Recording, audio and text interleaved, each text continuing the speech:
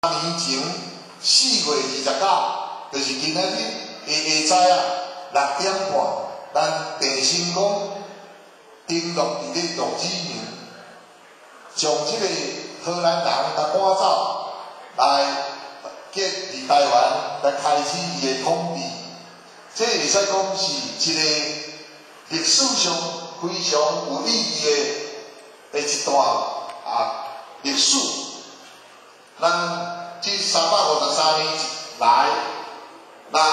伫即个台湾会当伫遮遮安居乐业，咱的先民无着台湾海峡大大的风雨，过着即个乌水沟来到咱台湾定居，实在是。即个冒险甲即个精神，甲即个毅力，会使讲是咱先民